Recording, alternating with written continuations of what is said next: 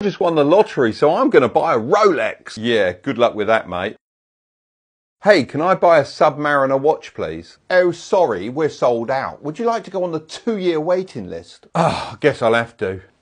Oh, hey man, I've got the perfect piece for you. It's a Submariner. What my friend doesn't know is you need buying history and a good relationship with a dealer to buy a Rolex. Well, how do you know this? Well, Mark's a millionaire who teaches from experience. That's why I follow him.